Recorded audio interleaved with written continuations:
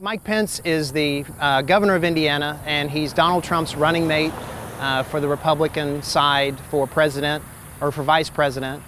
And um, he has a long list, a long history of being anti worker and anti union on uh, a number of issues. Um, when he was in Congress in 2007, he voted uh, against a, uh, a measure to raise the minimum wage. Um, he's long time supported right to work laws. The Republican National Committee actually voted on their platform to have uh, a national right to work law and encourage the states to follow suit. Um, so he's had a long history of being anti-worker, anti-union.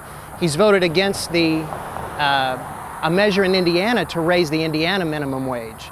So he's he's had a history of uh, being against the workers.